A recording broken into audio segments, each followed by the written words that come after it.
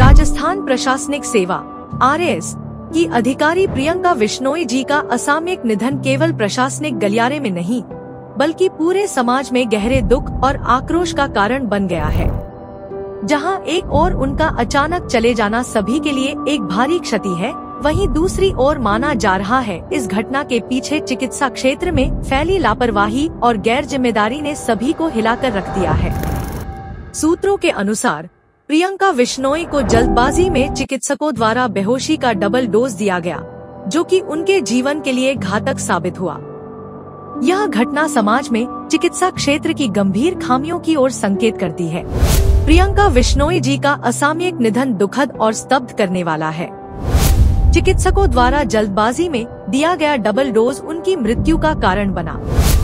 यह चिकित्सा क्षेत्र में फैली लापरवाही का घिनौना चेहरा है। ऐसी गलतियों के लिए जिम्मेदार डॉक्टरों पर हो कार्यवाही प्रियंका जी का जाना राजस्थान प्रशासनिक सेवा के लिए एक बड़ी क्षति है। इस घटना ने पूरे समाज को आक्रोशित कर दिया है। चिकित्सा क्षेत्र में इस तरह की लापरवाही अस्वीकार्य है।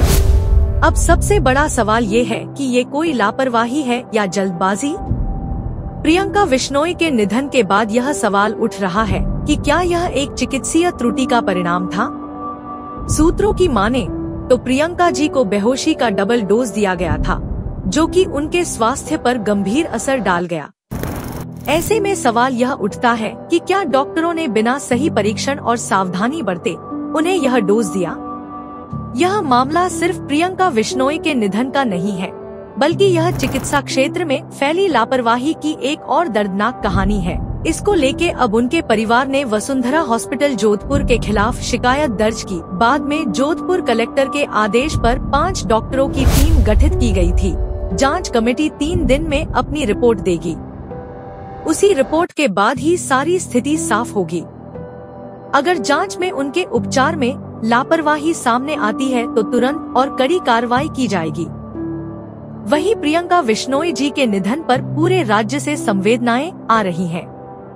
शिव विधायक रविंद्र सिंह भाटी ने भी इस दुखद घटना पर गहरा शोक जताया। उन्होंने कहा कि प्रियंका जी का निधन न केवल एक प्रशासनिक अधिकारी का नुकसान है, बल्कि यह समाज के लिए एक बड़ा धक्का है। रविंद्र सिंह भाटी ने कहा कि ऐसे मामलों में लापरवाही को कतई बर्दाश्त नहीं किया जा सकता, और दोषियों पर सख्त कार्रवाई की मांग की।